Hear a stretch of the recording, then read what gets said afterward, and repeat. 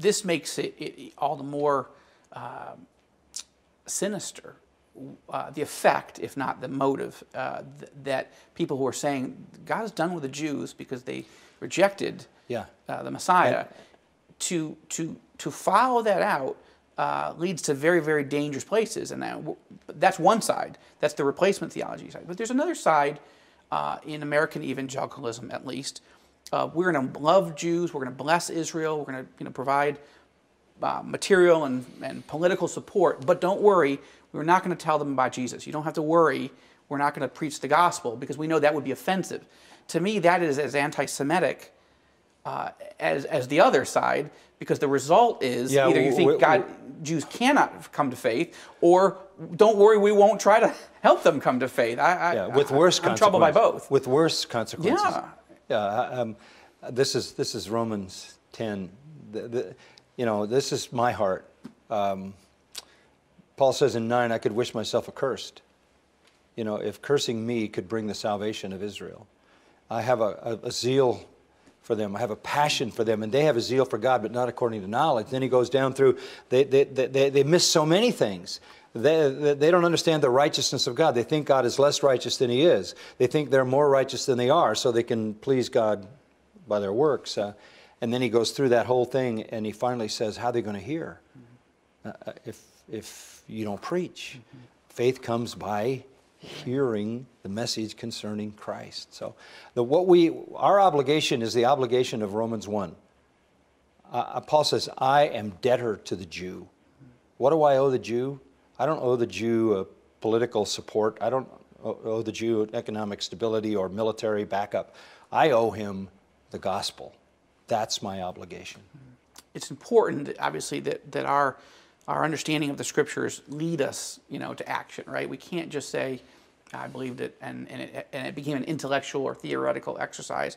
For some, it is, um, but I think that, that if we understand the heart of the gospel and the heart of God's love for a lost people, the Jews are as lost as, as the Gentiles, sadly. And it's worse for us in a sense because we ought to have known better. This is why we were made to know Christ and to make him known. But um, Well, it's a horror what you're talking about because you have Jesus looking at the city of Jerusalem and weeping and saying, How often I would have gathered you as a hen gathers a brood, but you would not. You, you, you've been killing the prophets and stoning everybody that sent to you, and now look what you've done. Uh, but but he, he, he weeps. I mean, his, it's, his, his, his heart is broken. And then you go into the epistles, and Paul says, Look, we are debtors to the Jews. We have to take the gospel to them.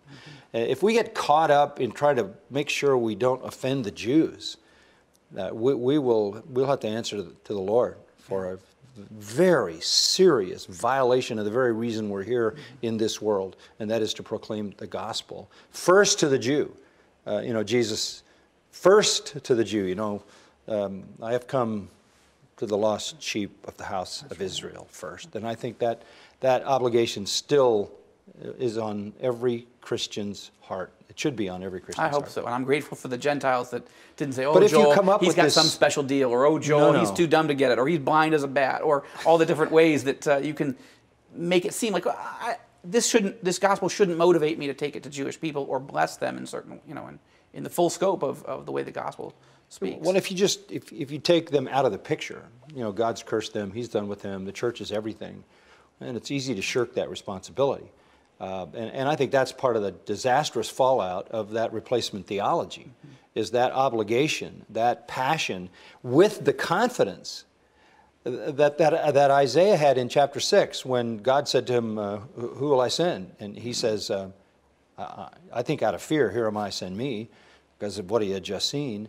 And, uh, and I the- wish to be restored. As to yeah, and the Lord says, "We'll go." And and He says, "Oh, by the way, uh, nobody's going to listen, nobody's going to see, nobody's going to understand." And so He says, "Well, how long would I do that?" And He says, You "Keep doing it till there are no people left, till there's nobody to talk to." Well, why would I do that? And then I love how that chapter ends. He says, "Because there's a stump, there's a holy seed, there's a remnant." And that's true in every generation. There's a remnant. And for this generation, we want to reach that remnant. But there's coming a day in the future when it won't just be a remnant. After the rebels are purged out, as the prophet says, the whole nation will come to Christ.